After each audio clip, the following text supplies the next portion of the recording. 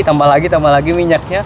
Terus kalau udah selesai mateng minyaknya seketika kayak berkurang drastis. Yang Kering ya, Bi? Dia kayak menguap gitu kan. Dicoba. Ya Allah asam banget. Terus pas jumpa langsung dok profesornya bilang maaf ya aku nggak bisa nerima tugasmu. Nanti kita bakalan cari cara untuk uh, nge-cover itu. Iya. dia yang minta maaf gitu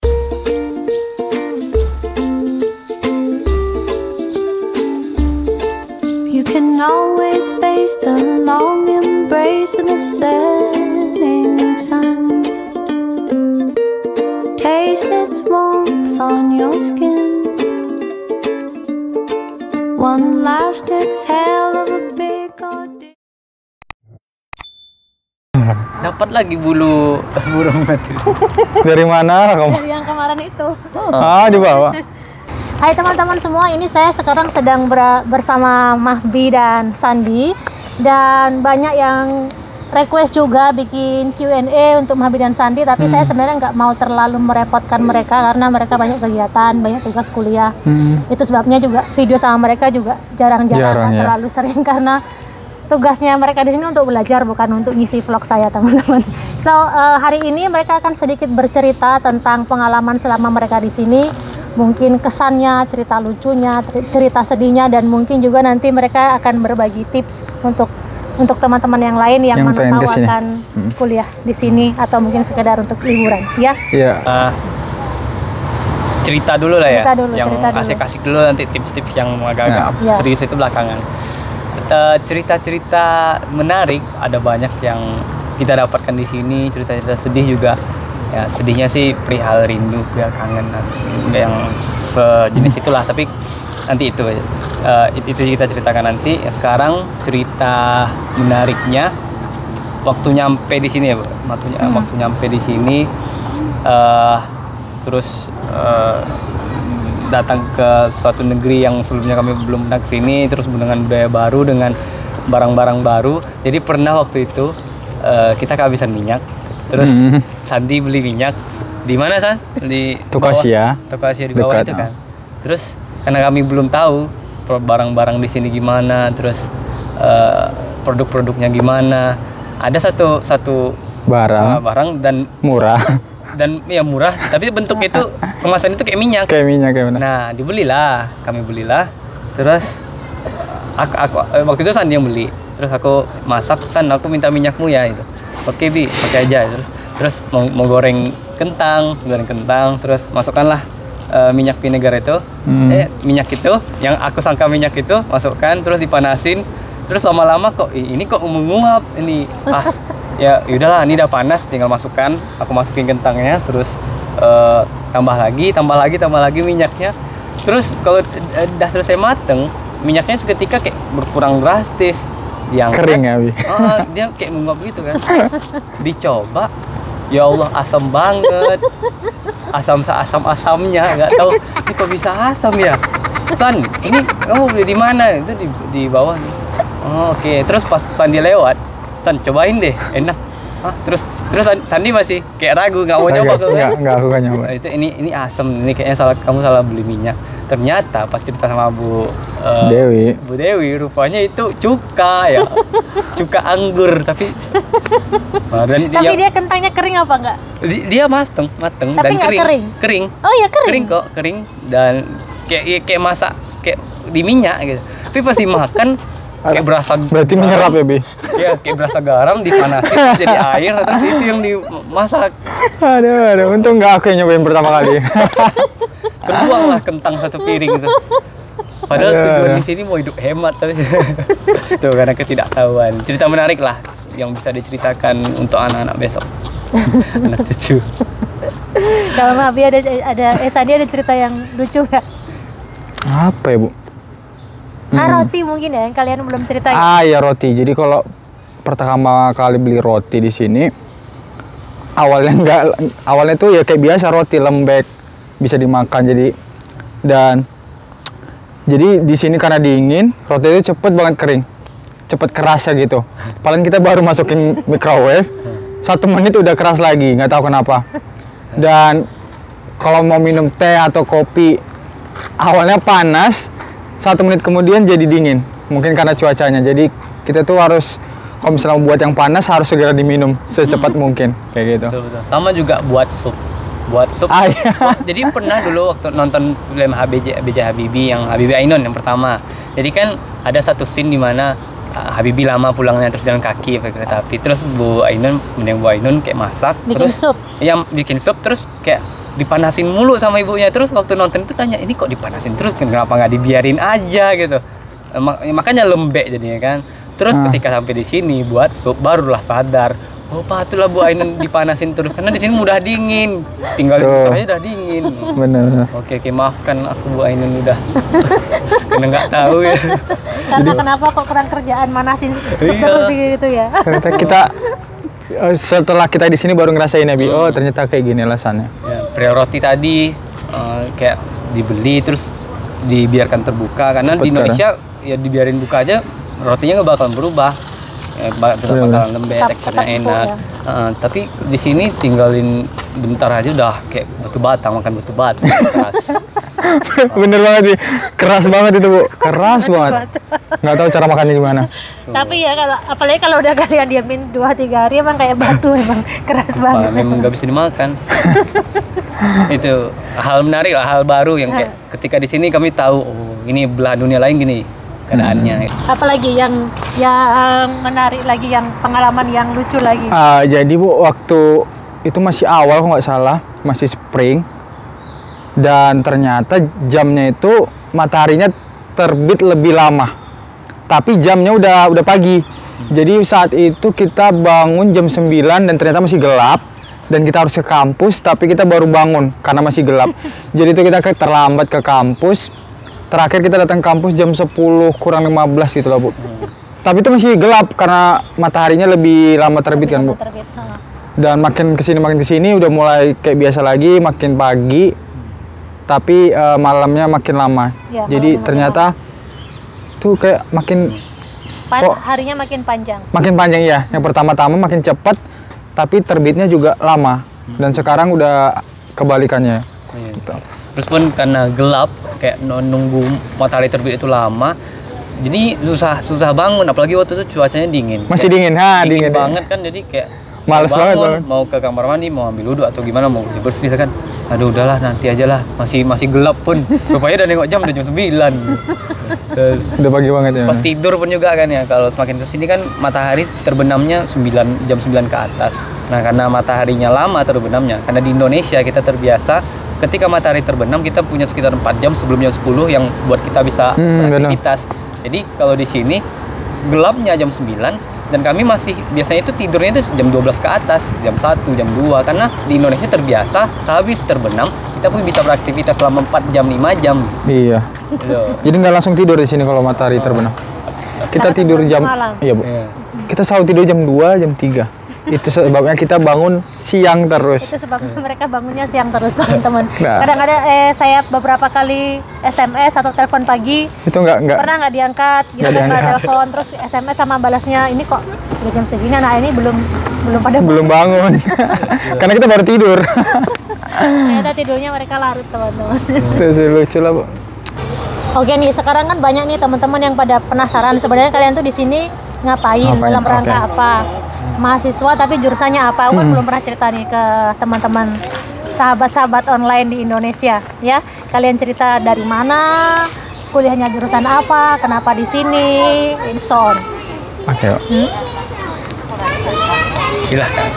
Aku. Oke jadi eh, se- sebelumnya kita ini dari Universitas Muhammadiyah Yogyakarta UMY dan jurusan kita hubungan internasional kelas internasional atau yang disebut IPIREL dan kita sekarang tahun terakhir memasuki semester 7 jadi eh, di jurusan kita itu untuk kelas internasional kita wajib exchange. Dan kita bebas milih negara mana.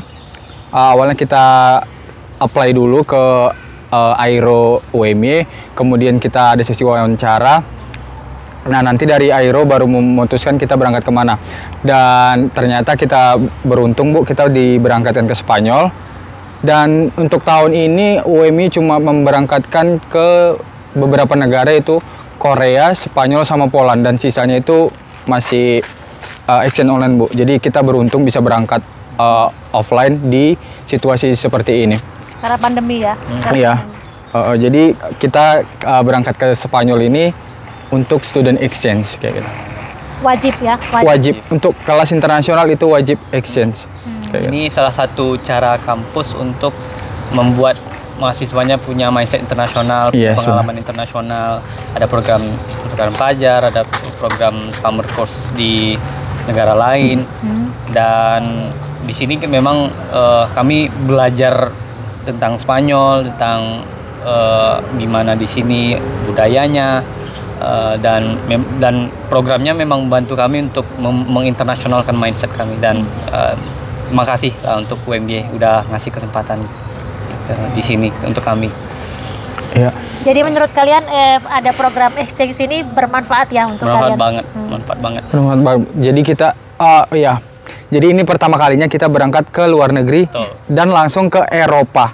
Dan cuacanya itu sangat jauh berbeda dengan Indonesia, Bu. Jadi ini untuk pertama kalinya kita ke luar negeri dan langsung Sp- Spanyol, beda bahasa, beda budaya, beda makanan. Jadi semuanya itu berbeda. Dan kita kebetulan datang di bulan spring. Dan itu masih dingin banget. Jadi pertama kali kita sampai itu 8 derajat dan uh nggak tahu. Kita keluar dari bandara, Bu, langsung kayak oh ini di mana? Gitu. Beda banget cuacanya beda banget itulah kayak dingin banget 8 derajat. Jadi kita ngerasain dua bulan penuh di sini masih ngerasain dingin banget spring dan saya tidur pun masih pakai jaket tebal gitu. Dingin banget. Kamu? Ya, hmm, memang banyak karena karena beda benua, Hmm. beda, beda, drastis bu- bu- budayanya, masyarakatnya, makanannya dengan Indonesia. Banyak pengalaman-pengalaman baru, pelajaran-pelajaran baru yang kami dapat di sini, pelajaran hidup atau pelajaran di kampus, kayak semuanya kami dapat di sini. Seneng banget dan semoga lah nanti ada generasi lainnya yang bisa ke sini juga pasti ada nanti dari. UMB-nya. Dan dan itu sih Kalau suasana eh, atmosfer belajarnya di sini gimana? Beda nggak dengan di kampus di Indonesia Hmm. yang yang kalian alami, yang menarik dari yang bisa Ah. kalian ambil dari belajar di kampus di sini? Oh iya. Ya, beda banget. Bu. Banyak Ya. kita belajar banyak di sini terutama di kampus, Bu. Jadi di sini mahasiswanya itu sangat on time. Yang pertama on time terus niat belajarnya itu lebih lebih dan salah satu tempat favorit saya adalah perpustakaan di kampus. Jadi di sini tuh uh, orang kalau lagi belajar itu memang serius belajar dan apalagi sekarang lagi musimnya ujian itu perpus sampai full. Jadi kita kalau nggak kalau nggak cepat uh, full uh, book uh, perpusnya jadi kita nggak kebagian tempat untuk belajar karena emang di sini apalagi sekarang perpusnya dibatasin jadi kita harus cepet-cepetan uh, buat book uh, booking the Appointment ya di perpustakaan. appointment perpustakaannya bu karena di sini emang orang-orang tuh kalau misalnya waktu belajar ya belajar main-main dan mereka kayak serius lah gitu Bu. itu itu jauh berbeda dengan Indonesia karena di Indonesia ya ada satu dua ya adalah mahasiswa yang memang rajin belajar belajar tapi itu jauh berbeda dengan Eropa karena di sini emang ya mahasiswanya rajin-rajin dan serius kalau lagi belajar kayak gitu. dan eh, pelayanan juga pelayanan di kampus itu juga eh, enak banget dan meskipun orang apa petugas-petugasnya itu eh, nggak fa- bahasa Inggrisnya nggak terlalu fasih tapi dia mau langsung turun Iya. tangan la- Niat membantu. ke beda gedung beda ruangan Mhm. kayak, come on ikut ikuti saya follow me Uh, terus kayak bantu ngurusin gitu dan ketika kita mengadukan suatu masalah dia menganggap masalah itu juga masalahnya dia Iya benar. jadi dia bantu kita untuk menyelesaikan masalah itu. Terus juga di sini saya merasakan tugas itu eh, nggak terlalu banyak karena teman-teman Indonesia dan termasuk, termasuk saya sendiri agak inilah dengan tugas itu kan karena tiap minggu ada tugas tiap kelas pasti ada tugas. Kalau di sini tiap tiap kelas eh, tiap minggu ada tugas tapi tugasnya itu dikerjain ketika di kelas. Iya, jadi langsung selesai. ketika di kelas. Pas pulang kita nggak Nggak mikir tugas lagi. dengan tugas dan bisa fokus untuk memahamin materi itu sih enaknya yang mungkin bisa jadi inspirasi bagi teman-teman eh ya sistem belajar di Indonesia Mhm. Dosen-dosennya gimana? Eh, Ah, iya. Mereka menyampaikan materinya, penguasaan mereka terhadap materi yang diajarkan. Eh, dosennya itu ya seperti yang penga- pelayanan yang tadi diceritain dia peduli banget sama mahasiswanya Mhm. dia bilang kalau eh, mereka rata-rata bilang kalau kamu ada masalah langsung hubungi saya ya. Nanti saya bakalan nyiapkan sa- waktu khusus untuk kita diskusi bareng. Iya benar. Meskipun cuma empat mata, ya ke, agak gimana ya? Wow gitu kan. Kalau untuk ngajak empat mata, eh, seorang profesor, seorang yang punya jadwal padat untuk diajak ngobrol tentang masalah kita empat- dengan empat mata gitu. Dan mereka menekankan itu berkali-kali yang menunjukkan bahwasanya mereka perhatian dengan masalah apa atau kendala apa yang dihadapi sama mahasiswanya. Tuh untuk mata eh, pelajaran juga dia memang pengen bahwasanya apa yang ada di kepalanya dia, apa yang ilmu yang dia punya, pengen sampai ke kepala ma- semua mahasiswanya. mahasiswanya. Memang teliti dan ada yang pengen ditanyakan. Ketika dia nanya itu, dia berharap memang kita udah paham dan kalau nggak paham tolong tanya gitu. Iya benar. Sih. Jadi sini dosennya emang uh, gimana ya bu? Dia jelasinnya itu memang baik dan membantu kita mahasiswa untuk mengerti uh, materinya dan setelah pelajaran itu pasti dosen selalu bilang uh, kalau kalian ada yang nggak ngerti nggak paham kalian bisa nanya melalui email. Kita bisa melakukan pertemuan melalui zoom uh, empat mata. Jadi mereka kayak membuka diskusi gitu setelah belajar. Jadi misalnya kita nggak paham kita bisa nanya langsung dengan dosen. Nah itu menurut saya itu beda dengan Indonesia. Karena kadang uh, dosen Indonesia susah untuk ditemuin untuk diajak diskusi dan karena mereka juga sibuk kan bu. Dan di sini tuh beda. Di sini dosen membantu memberikan materi cukup jelas jadi kita juga bisa nanya kalau misalnya kita nggak tahu itu kurang paham Iya. gitu ya. Dan kebetulan kita di sini cuma ngambil dua mata kuliah, tapi satu mata kuliahnya itu 6 SKS. Jadi sama dengan satu kuliah di sini itu dua mata kuliah di Indonesia. Indonesia. Nah, jadi kita ngambil dua dan hitungannya itu 12 SKS. Itu menurut kita juga udah cukup berat, Bu, karena di sini rata-rata mahasiswanya ngambil 5 mata kuliah, total 30 SKS. Jadi kita cuma ngambil dua mata kuliah karena kita juga telah datang jadi cuma bisanya ngambil dua. Mm-mm. Dan itu kita eh, sistem belajarnya beda. Untuk tugas kita nggak terlalu pusing bu, tapi kita kan ada eh, final project dan menurut kita itu sulit, itu yang membuat kita terbebani. Dan alhamdulillah sekarang udah selesai, udah lega karena kita udah menyelesaikan semuanya. Tapi ya masih ada beberapa materi yang harus kita kejar. Kayak gitu. Eh, salah satu yang ini aku salutkan dari dosen di sini adalah dia nggak mau ngejatuhin mental mahasiswa. Iya sebenarnya. Di sini aku pernah ngerjain satu tugas, tapi tugas itu salah. Eh, kayak ini i- bukan ini bukan yang aku suruh tapi Hmm. bla bla bla. Pada akhirnya dosennya eh, waktu waktu itu ceritanya dari email dia bilang tulisan eh, apa yang tugas saya kubar itu eh, tidak sesuai dengan arahannya dia. Terus pas jumpa langsung, do profesornya bilang maaf ya aku nggak bisa nerima tugasmu. Nanti kita bakalan cari cara untuk uh, nge-cover itu. Iya. iya yang minta maaf gitu. Nggak minta maaf karena nggak bisa nerima tugasnya. Dan itu salah satu cara profesornya untuk buat mahasiswanya nggak jatuh mentalnya. Untuk buat mahasiswanya pengen coba lagi tugasnya pengen ulang lagi belajar dari kesalahan.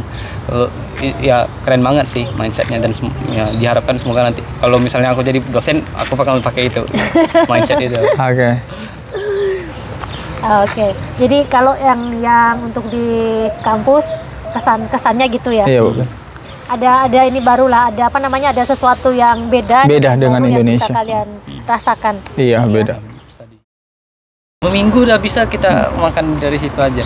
Dari apa yang dikasih sama Bu Maria Luisa. Kayak terus dikasih Magicom. Kalau dulu Habibi dia harus datang ke Kedubes Indo di Bon dulu baru bisa makan nasi. Kalau kami kayak di dapur udah bisa langsung makan nasi gitu. Karena beras ada terus Magicom juga ada. Eh, ber- en- enak alhamdulillah bersyukur sama Allah Dan udah iya. dipertemukan. Jadi kita di sini di diperlakukan sama keluarga Bu Dewi itu ya kayak keluarga. Kita nggak tahu. Jadi minta maaf kita sama Bu Dewi sama Maria Luisa dan ternyata kita boros di listrik. Moga junior-junior ke depannya nggak buat kesalahan yang sama, itu kesalahan kita. Kita nggak tahu. Tuh. Sampai jumpa di vlognya Bu Dewi mungkin satu berikutnya. tahun, Ya, dua tahun mungkin. lagi ketika kami ambil master di sini. Iya.